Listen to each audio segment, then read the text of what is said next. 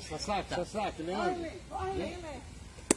Amigos da TV Sobrinho, hoje uma data icônica na história brasileira, 30, 31 de março, já que em 1964 nós tivemos uma intervenção militar no país nesta data.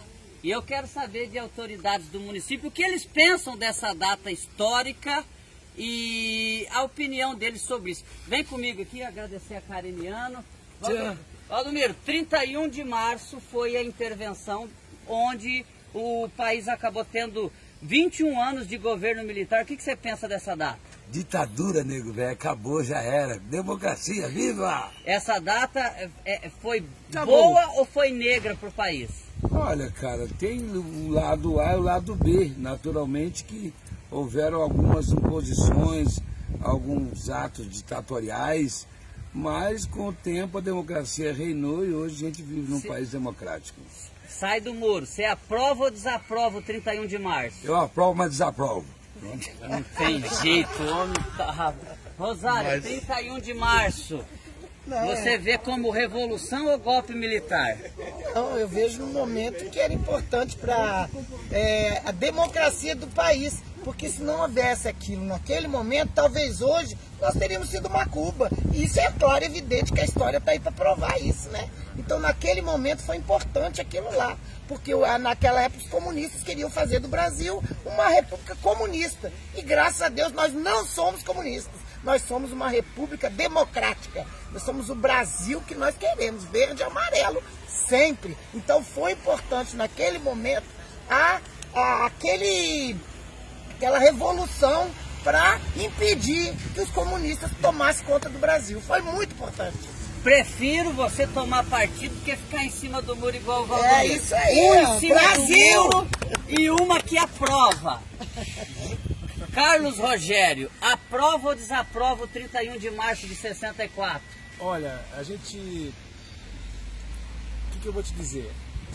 A gente tem que aprender a tirar proveito. É, aprendamos aí com o que aconteceu no país nessa época para poder dizer que a, a, democracia tem que ser muito valorizada e respeitada. Porque não fosse o que passamos, como disse a Rosária, a gente não teria é, talvez a liberdade de ter outro que outros países não têm. Né? Então a gente tem que tirar proveito daquilo que aconteceu, que eu entendo como negativo, né? no contexto geral de, de, de, da questão militar que houve à época, para poder valorizar o que a gente tem hoje. Então você desaprova a ação de 31 de março? Desaprova, um a um, a Rosário já está longe, não tem problema, pode desaprovar. É, presidente da Câmara, Paulo Lourenço, aprova ou desaprova esse momento histórico? Eu vou na mesma linha do doutor Carlos Rogério aqui. É, infelizmente, eu não, não concordo, desaprovo. Acho que hoje nós vivemos num país democrático e acho que a democracia é que prevalece. E graças a Deus, hoje nós temos a liberdade, né, doutor? É, liberdade de expressão. Então, totalmente eu desaprovo o dia 31 de março. Muito bem, eu gosto disso. O cara tem que ter opinião. Camila Rubim, secretária municipal de educação, 31 de março de 64, foi uma revolução, foi um golpe, aprova ou desaprova? Então, eu sou que nem a Rosário, eu acho que no momento, às vezes, era necessário né, ter feito dessa forma para que hoje a gente estivesse na situação que a gente está, né, na, na, na democracia que a gente está. Eu sou a favor da democracia, mas acho que naquele momento, de repente, seria o momento de estar tá tendo essa intervenção militar. Rapaz, aí deu empate. Dois desaprovou, dois, duas aprovaram e o Valdomiro ficou naquele mais ou menos. Uma... É o voto de Minerva agora, que é do Jandaia. É o meu, que é a sua opinião? Se manifeste a respeito. Desaprovo totalmente. A democracia sempre tem que imperar a vontade é, popular. tem que ser, hoje, tem que ser a vontade.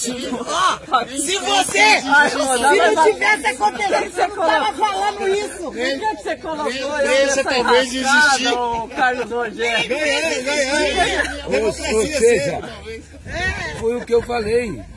Teve o lado bom, que eu aprovo, mas teve o lado ruim que eu desaprovo. Todo mundo falou a mesma coisa. Você tá vendo? O pro Jandai foi arrumar Olha, o Carlos Rogério acabou com a minha vida. Eu, eu não ia dar opinião de nada, porque eu só tô trazendo a matéria. Valeu, Carlos! 31 de março de 64, essa data ficou na história. Tchau!